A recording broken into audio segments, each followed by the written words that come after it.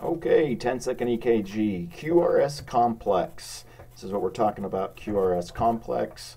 So what that does is it represents the depolarization or the contraction. Remember, depolarization is the electrical version. Contraction is going to be the mechanical. So Q wave would be your first negative or downward. So this is our Q wave here. If you don't be surprised if you don't have a Q wave, it's not, ab not completely abnormal. So what you would do is you would move on to your R wave, which is your first upward or positive deflection.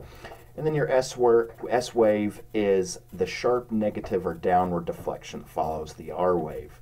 So as we see here, R wave, S wave, and come back up.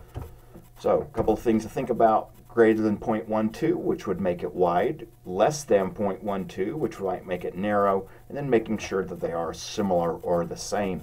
That is our QRS complex in our 10 second EKG.